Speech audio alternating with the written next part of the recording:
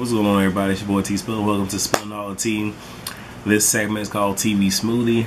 I'm going to be talking about the haves and the have nots and cutting it in the ATL. Let me say this I know it has been a while since I have done a TV Smoothie. I know, right? so, oh my god, it's crazy. It's fucking crazy.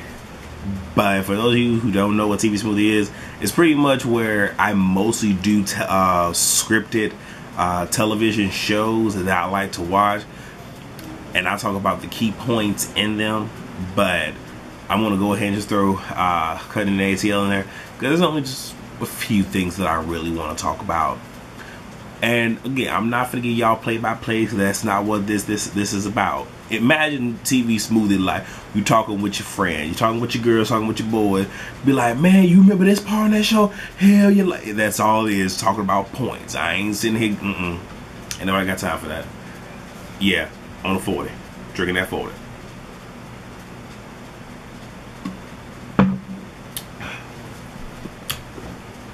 Okay, so have and have nots. I don't remember what episode it is. It will be well the episodes for both will be in the title. But no, real talk, like shit getting good. It shit getting good. You know. And I, I'm, you know, I gotta try to find this quote right quick. But Veronica, do not like her character. I do not, but weirdly enough, I'm starting to enjoy her character. And it's one of those when you have an actor or actress who play a role so motherfucking well that even though you hate that fucking character, you have such a respect for that character. That's this one. So, let me see. Uh,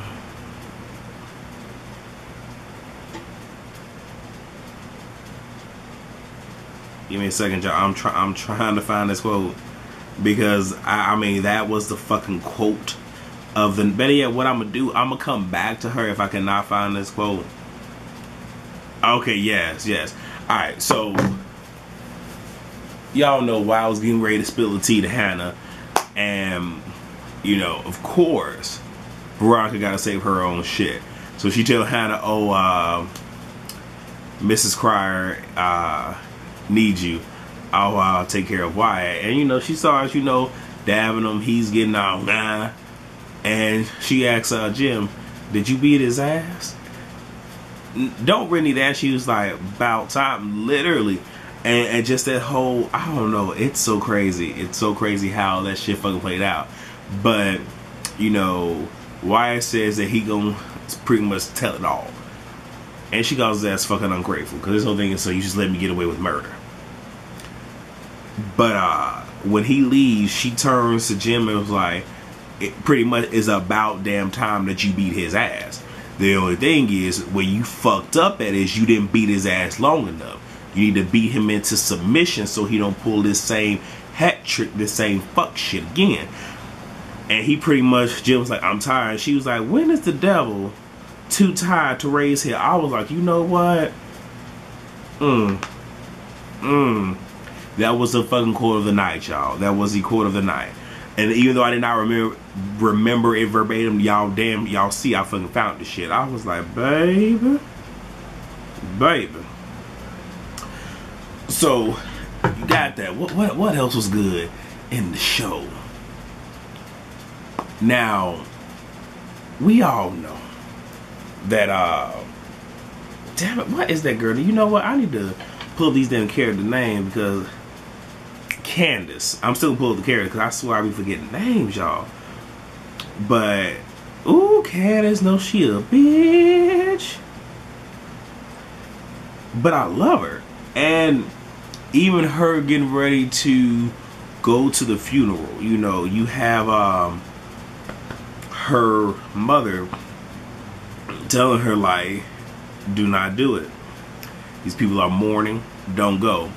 Now, the one thing that I didn't like is Hannah makes a whole lot of empty motherfucking threats and promises. The only thing that I will say, because she showed up to the funeral, she really half do shit. But when she showed, and now uh, Mrs. Cryer told her, you know what, you why don't you come on over, you know, to the I think I think we call this the repass. That's what it's called. But come on over to the repass here. And Hannah sees her and she's working. Like she snatched her ass up. I'm looking like about motherfucking time. Like I I'm just saying. And now I bring myself into this shit a lot of time, but I could never, ever, ever talk to my mother the way she talks to her mother and don't get the motherfucking taste out of my damn mouth. Don't give a fuck how old I am. Don't give a fuck how old she is. You know what I'm saying? But snatched her ass up, you know, and, and I was happy for that. She needs to do that a little bit more often. You feel me? Okay. Let's see what what what else? What else was good? Uh, is is her name? Wait, wait, wait. Is her name Selena? Celine. She a delusional hoe. She a hoe nonetheless. But she a delusional hoe. My whole thing is just let it go. Just let just let it go. That's all I gotta say about her. Delusional. Now Jeffrey, he and Landon ain't working out right now. And at the repass, Landon sees those two talking to each other. And, you know, after Wyatt walks out, Landon comes in just talking mad shit. He was like, the whole entire time, I thought you kept saying, why? Why? But you were actually saying, Wyatt. And it was getting Jeffrey to the point he pretty much just like, you know, fuck you this and third. But his whole thing is, you ain't feel that way last night. I'm just like, you know what? It's too much happening this motherfucking episode, but I'm getting my fucking life. Like, for real and Maggie. Ooh, I would say that she she she won't her some David. She she she she won't David. She she won't the Django without the Django. Okay, she she won't David. And um, did hire a motherfucking PI to you know uh, watch Veronica, and she got the pictures of her and Benny but she she was about to spill the tea, but she didn't. But she because you know she was throwing stuff out there. You know, David whole thing is see you don't drop hints, you drop bombs. What are you holding back? And all she pretty much said is, you know, pretty much hinted towards his vehicle.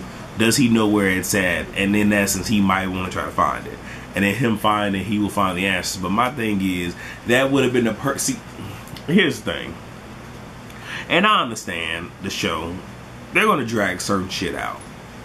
That would have been the see, see what I would have done. Role reversal.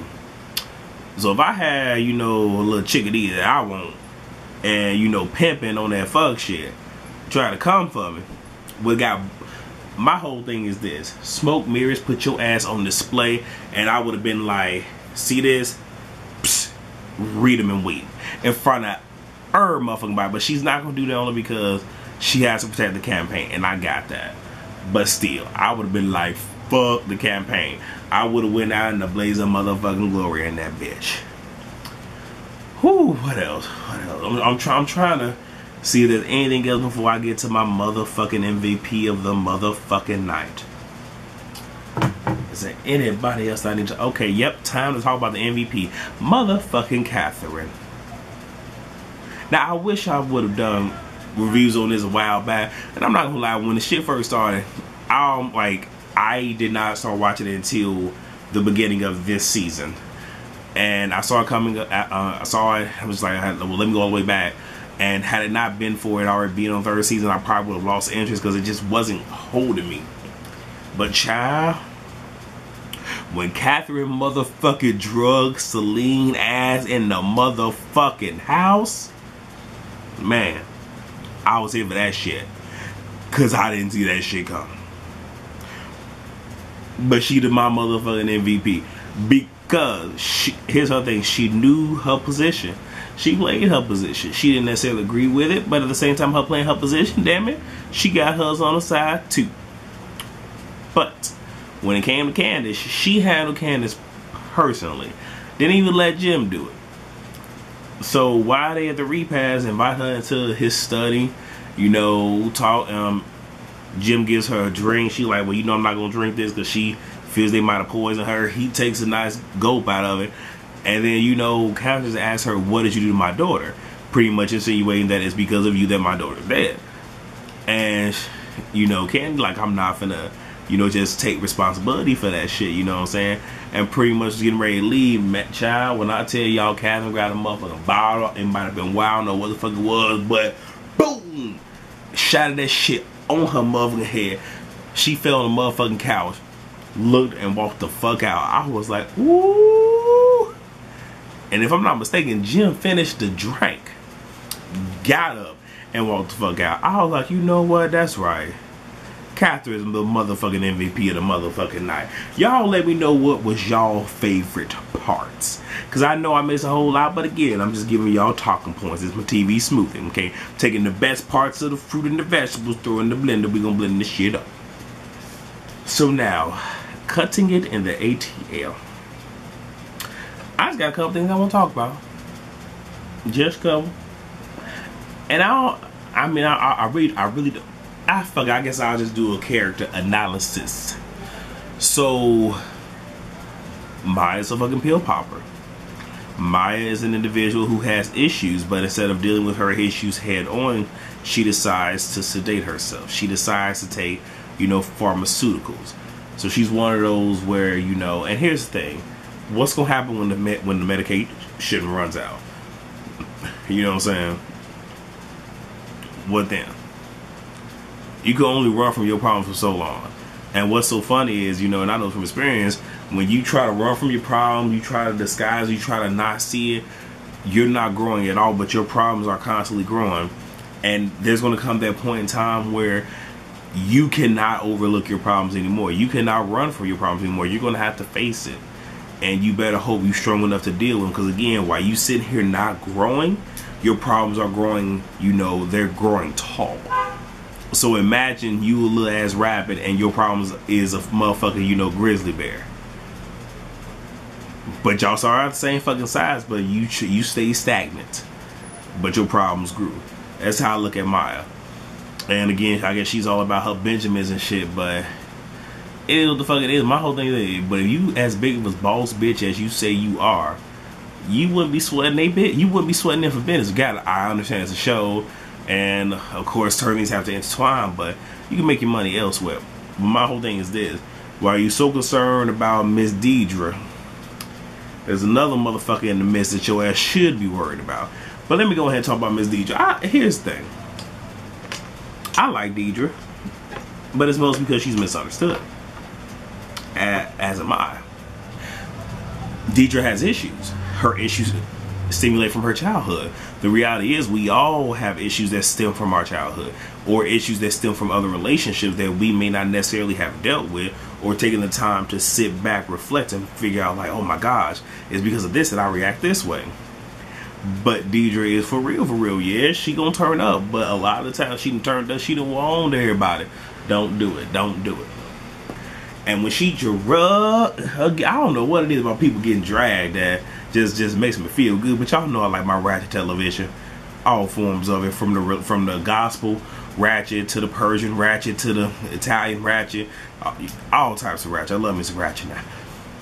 But drug that girl across that motherfucking table onto the floor. I was, I was, oh, oh, got my life then. Now, on this episode, you know, she decided to put this girl mug shot on a motherfucking birthday cake, Maya. Now, and then take it, take it, and it got presented. Man, what I tell you, that's one of those where was it dirty? Yes. Was it grimy? Yes. Was it messy? Yes. Was I here for? You best believe I was. My whole thing is this: if you gonna be messy, be messy. You know, stand firm in your shit. Cause here's the funny thing: why everybody want to sit here and come against Deidre? Deidre is doing all this shit to y'all fucking faces, right? But you have Beauty sending the spy over to Maya's establishment to spy, but she had no intentions of ever bringing that up. You have LaKenya sitting here flip flopping and playing sides behind the scenes, but not sitting here revealing to, to Deidre, of all people, these are all the moves that I have been making. But you ain't loyal to no motherfucking body. you have, well, I mean, Maya's just Maya. She ain't shit. And then you have the biggest culprit, Mushia, who then sat here, infiltrated, and played all y'all asses to learn what she need to learn. Pretty much put, uh, you know, LaKenya, but did it way better and about to sit here and you know drop her bomb of hair. But it's one of those where it's like you know hate Deidre for all hate her out as much as you want, but it's one of those where I like Deidre, and it's mostly because I guess I can relate to her because of some of the shit that I went through. Done with her, like I said, LaKenya, she ain't shit but a motherfucking flip flopper. She ain't wherever shit, bitch ain't loyal. Really ain't much else I gotta say to it. All I'm gonna say is this: while she's sitting here trying to flip flop whatnot, she best hope that, regardless what they have a season two or not, she best hope Deidre, like she moves to a point where she don't see Deidre. When Deidre watch this shit back, I feel for that ass.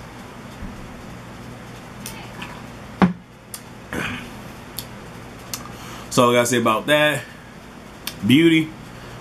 Beauty messy. Tacky. Don't know how you use salon on in your hair. is always fucked up. I, I I want to talk, but hell, my shit natural. It the fuck it is. Rock it how I want to rock it, but I'm just saying. And um, yeah, she she ratchet the shit. And Mushia, the only thing I, I, it's one of those where it's like she's a bully. Regardless of what you want to call her, she is a bully. I'm all about being firm, I'm all about being self-assured, I'm all about knowing your work, I'm all about being confident. But I'm not against degrading somebody or making somebody seem inferior to make yourself seem superior. I'm not for that. I don't like that. And you see that a lot that she even tried to do that shit, pull that shit on LaKenya. Even though I don't like her. But she should have sat there and, and got that ass together and read that ass for filth, but she didn't do it. But again, you want to say and try to be because you want to see him be a big girl. Should have been learned from from Deidre, but you want to say and learn from Maya, passive aggressive ass shit. But it is what the fuck it is. But like I said, my MVP of the motherfucking night was motherfucking Deidre. Cause it was one of those where, now mind you, yes. Did it take a lot of energy for her to do what she did and all those stuff? Yes. But again, we cannot sit here and not say that all the other females have not taken time to do other fuck shit to other people on this damn show. That's all I'm gonna say. So you guys, you guys also let me know what your favorite parts of uh, cutting in ATL were for this particular episode. Next week is the season finale. And um, if you guys don't know, I'm in the process of working on a brand new segment called T and trending topics with the T. Because everything has to have T in if it was, right?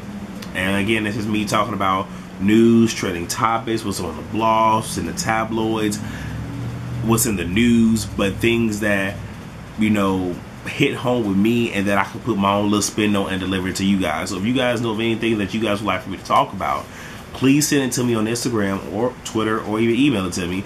And if if I if I feel that I can, you know, flow with it, go ahead and do a video about it or even incorporate it into the Mads video. So please, with this video, rate, comment, and subscribe. I think I might end up bringing TV Smoothie back, especially with my announcement. If you guys have not seen the announcement yet, I will leave the e-card up here, and then you'll know why. So, I love you guys, and I will see you guys on next video. Peace.